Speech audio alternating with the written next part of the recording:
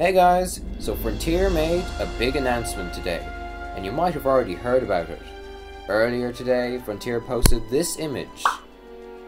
Now you might say, so what? They took a picture of some Oviraptor tail. In a nice new stripy pattern. Well no they didn't.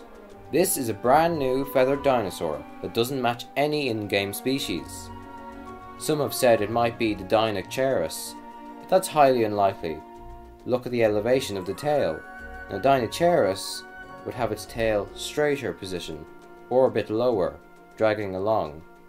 This tail is definitely from a medium to large sized theropod, possibly a Utahraptor as commented by Swrve. Now as for my own speculation, I believe there could be two possibilities of why we are getting feathered dinosaurs. My first idea is that it could be part a Doctor Wu like fixing the inaccuracies of his creations pack, where dinosaurs that we already have in the game will get feathers, such as Velociraptor or other small carnivores, maybe even Gallimimus.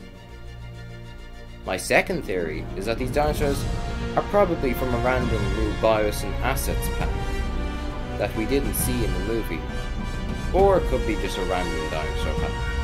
Personally, I hope it's the Doctor Wu edition pack instead of a Biosyn Dinosaur pack. But either would be pretty cool.